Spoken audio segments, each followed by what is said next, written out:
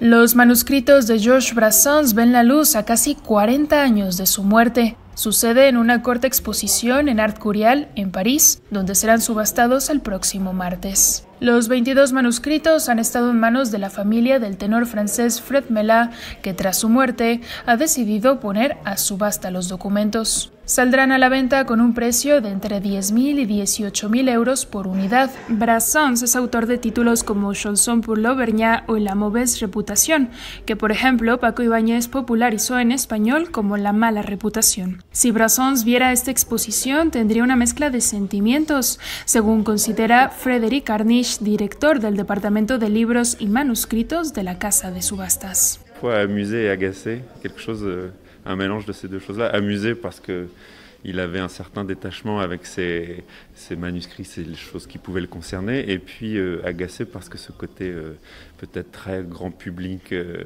euh aussi marchand, il faut bien le dire, euh, c'était pas forcément tellement ce qui, ce qui le motivait dans la vie. El cantautor francés alcanzó fama con sus melodías sencillas y elegantes y sus letras variadas y elaboradas. con una ácida crítica social que reflejaba su espíritu alejado de cualquier autoridad.